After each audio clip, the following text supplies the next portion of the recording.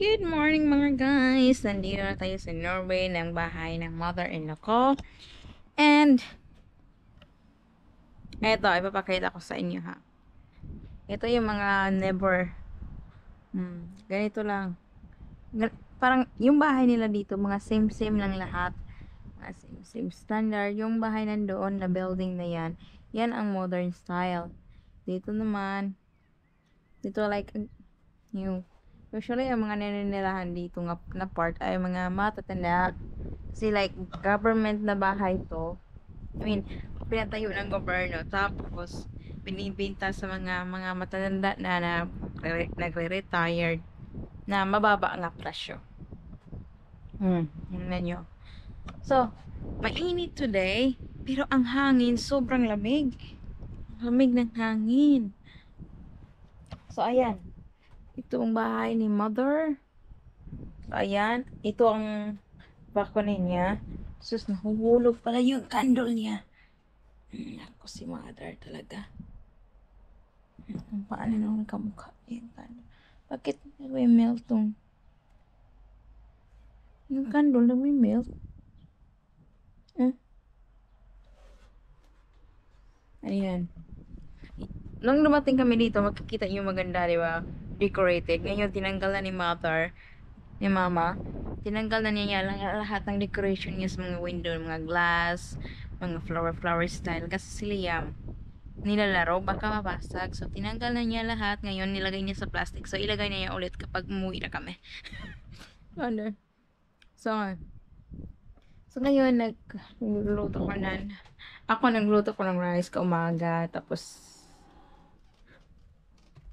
Ayan si Liam. Ayun ang house ni mother. Medyo magulo pa today kasi meron anak. Pero hindi naman ganun. Yung mga laruan lang naman yan. Ayan si Liam. Hmm, nanood. At si mother nanghiram ng laruan sa kanyang hmm, ah, sister na may sister kasi siya na may ang anak na may apo din.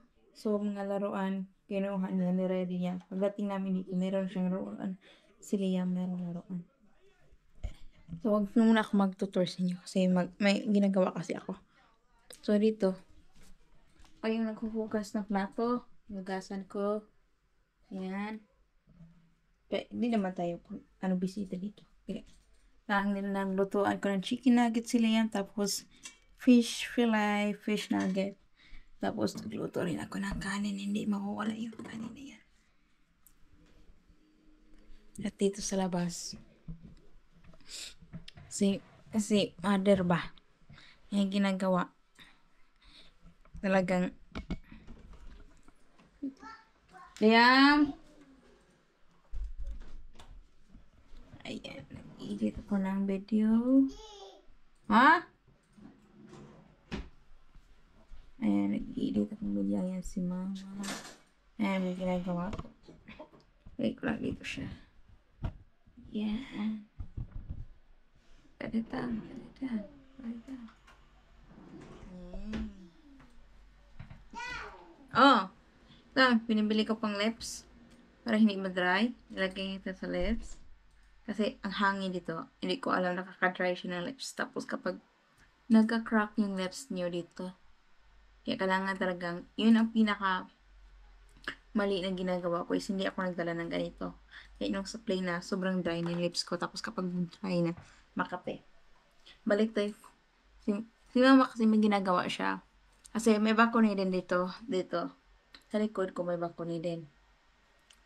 Tapos si Liam, kasi lumalabas. Tapos, alam niyo man, ang mga driver dito, lalo na malapit sa mga bahay-bahay, inip mo tumatakbo yung sasakyan, sobrang mabilis. Nagpapahinay sila kasi alam niya ang nakatira dito mga lalo, halos mga matatanda. Tapos, yan.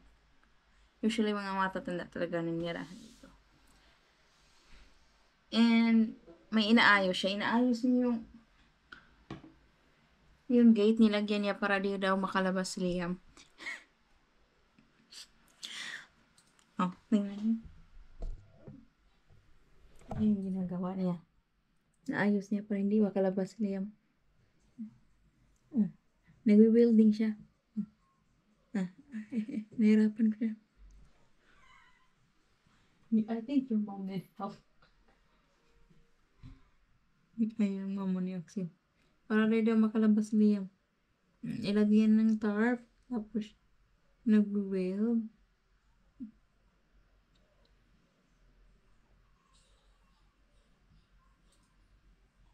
Mhm.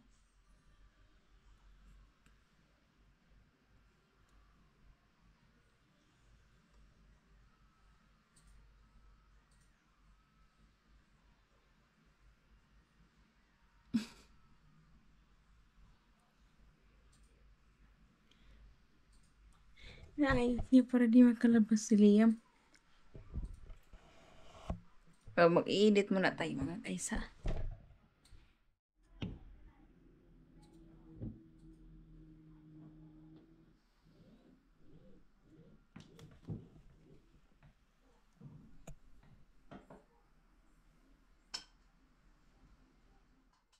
Sasakay tayo ng bus papunta sa, sa, sa Houston Town at ito ang kanilang waiting bus station. Oh. Makikita nyo dyan yung time, kung kailan bus darating, yung mga oras nandyan. det är ju nog det blir väl en drastisk sömn. Är det... Dyan yung makikita yung bus kung kailan det går. Tayin muna natin. Du kan inte leva på 25 000. Uy! We are now in the town. Andito na tayo sa town ng Port Gun at kukunin na natin laptop ni Mama Marit. At ito yung kasama ko, si Liam, si Papa niya. Ito yung town ng Kiwi. Sumasakay kami ng yellow na bus. Nej. Tapos, ito ay ang Centrum or Center. Force Gun Center. Or Centrum. Or it's called the main town. Where we go? Väl köp. Where we cross? Du vet väl köp. It's safe? I know. Ah.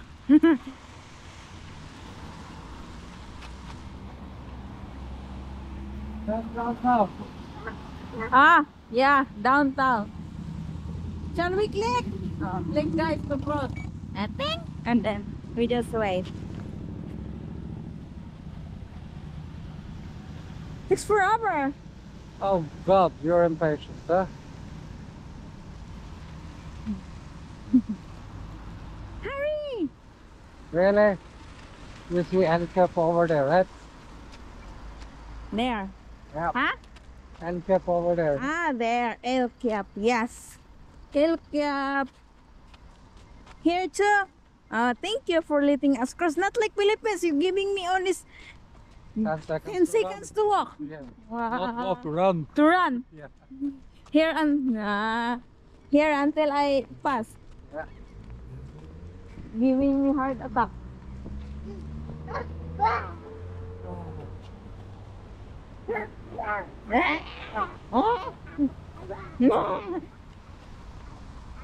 Ah.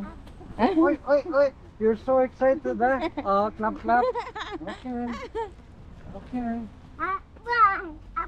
Uh-huh. Mhm. Mhm. Sure about that? Kiwi. Kiwi guys, ito yung shop na meron silang first price or tinatawag nating in Philippines, tinatawag nating like generic brand. Generic brand. Yes.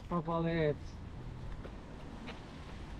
So, yesterday I bought or bumili ako ng ah, what is that tampon? Ka 50 pesos. For 32 to for 32 pieces. So, usually in Philippines, we're not really out yet. Other is in Bantayan Island, I guess, tampon, but it was a bit expensive. If you want a branded one, it was 150 pesos. Up. Yes, yes. But I bought in a for generic brand or first price called. So, It's pretty good. who wants me to buy for that? I will bring you. But you already said the price. How can you make no good? Ah, I have to Uh-huh. do it later. Mistake. And also, here in Norway they really love their flowers. Look at 249. That's expensive. Not really. 1,250 pesos for one flower. Yeah. What? What? This is much cheaper. Only 1,000 pesos. 200 for that. That Liam pick up that when we go to beach. Yeah, we can. That's even cheaper. what is this? Rice? Oh, no, no, this is, Planting uh, for planting. Yes. It's fertilized. Uh, Yes. Yeah, for for you know. Here, the mall. It's not a mall, but it's like for gadgets something. Yeah. It's quiet here. Yeah.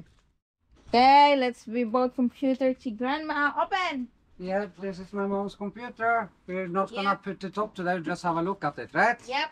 Let me see the. Just excited about what it looks like. And Why it's matte? It's cold. uh, it's not cold. It's wet. Ah, it's wet. Yeah. It's So this is This is not yours. This is grandma. this is a very very strong computer. It's way overkill for what she needs, but then she has for a while, right? Yep. Look at this nice charger, huh? Is that charger? Yeah, cause it, you and me, we have uh, have laptops for rendering, so we need powerful. But she has like a That's cell phone charger. yeah, it's a nice, right? Det fint. Det, det er ikke laderen. Det blir jo litt enklere å ha en sånn lade. Here. Eh, Musematte. Ja. Og så en mus. Og så en mus. Ja, Yes. det syns vi du måtte ha. Oh, that's Oi. beautiful. Oi. Og se på den, altså. Hæ? Oh, så And it's aluminium. It's no plastic. Og den var flott. wow. Med nummertastatur der så blir det litt enklere. Det er, det er store, fine knapper. Og enkel å bruke. Fin, fint design, fin PC. Og kraften til at det, du trenger ikke å rydde opp inn eller noe som helst. Den kommer ikke til å bli sein eller noe som helst. Den kommer til å holde seg, så så kan jeg bare rydde opp inn eh, når jeg kommer på besøk en gang. Setter du den i gang etter hvert òg, eller? vi fikser den en gang i morgen. Og så Jeg hadde jo klart det sjøl òg. Nei, men jeg setter, jeg setter den opp for deg i morgen. Så gjør vi sånn at den er enklest mulig å bruke. Mm. Og så, Wow! Og så sitter du bare og trykker litt på, så ser du at, den- så at det er som det er åtte ganger. Så det blir Den her blir ikke å Den her blir ikke å bli utdatert på lang tid. Det er splitter ny prosess, og det er den prosessen kom for et halvt år siden bare, så den kommer til å vare i mange år. I will never film you. Why you? So there you go, guys. It's my mom computer. How much is that? How much? 5,000, 25,000 pesos only. For that? Metal? Yeah, this is metal. This is aluminium actually. And aluminum? It's not Yeah, but- melt in the sun? No, this this is aluminum like the chassis on our old computers. Oh. But you know, um, the reason it's so cheap is because we got it on offer. If you check the other stores, it's still How much? 8,500 Norwegian to 8,900. So it's uh, 50k? No 8,500. What is that? Between 5,000 is so 5,000 so 7,000 would be 35 so 42,000 around there but we got it for 25 because summer deal in Elkjøp What? Yeah. What the size of your mom's kid? Skill. Den var flott. ja den så jo kjempebra ut Samsung og greier. den var jo pen Ja. og den er slank og enkel og så veier, den ikke så mye Nei, se det. Herregud. ja, du setter den ved siden av den gamle PC-en så kommer du til å se forskjell Den er jo sånn tjukk. Jeg vet. Men uh, Det er et av de beste kjøpene jeg har gjort på lange tider. Det er, ikke, det er ikke ofte du får så bra kjøp for sånne priser, men det er litt moro når du får det. Spesielt greit når den går til en som ikke skal bruke den så hardt, for da, da hold, denne her holder så mange år at det er eh, Det er liksom ikke noe å tenke på. Mamma, Mama cook Den der hadde holdt for meg hvis ikke vi hadde redigert video, så hadde den holdt for meg i hvert fall i fire-fem år. Men du må ha litt Det er bare pga. videoredigeringa. Til alt annet jeg driver, så holder det der i massevis. She did cook rice. Hæ? She cook rice. Yeah, she. I told her to cook the rice. She had to see if it is sticky rice and if you like it, and if not, you just miss. It worked. It looked good. It is the jasmine. I guess. Because she didn't know if it was the jasmine or if it was Uncle Ben's It the one is that is jasmine. sticky. Yeah, but taste it first to see if you like it, right? Because if it is, then at least we have some. Det er sånn trivelig. Var ikke det- Ja, det var den posen. We're cooking. See? The bread. Here's the bread, guys. Uh, my mom's homemade bread, huh? my mom's homemade bread better than me. Better than you. That's for sure. But that doesn't take a lot. let's let's eat.